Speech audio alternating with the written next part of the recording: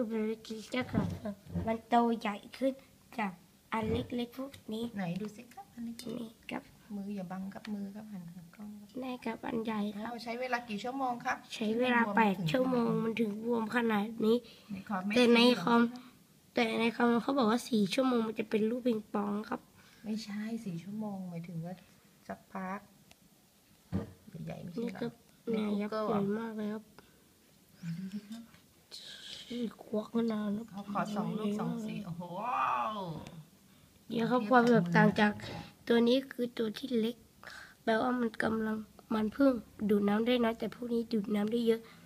ตัวนี้เท่ากับตัวนี้แปลว่าดูดน้ำได้เท่ากันแต่ส่วนตัวนี้เล็กสุดครับ